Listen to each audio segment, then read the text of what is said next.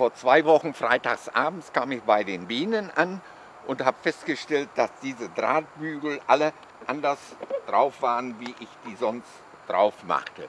Und konnte damit feststellen, dass jemand in den Bienenkästen reingeguckt hat, wie die Völker waren. Und somit hat man vier gute Völker ausgesucht, wo genügend Bienen drin waren. Und die Woche später waren die vier Kästen weg. Imker Kreilkamp ist nicht der einzige, dem man Bienenvölker gestohlen hat. 30 Prozent aller Völker sind laut Imkerbund in diesem Winter eingegangen. Den Grund hierfür die Varroa-Milbe. Grund ist dafür, dass in diesem Winter etwa 30 bis 50 Prozent der Bienenvölker eingegangen sind.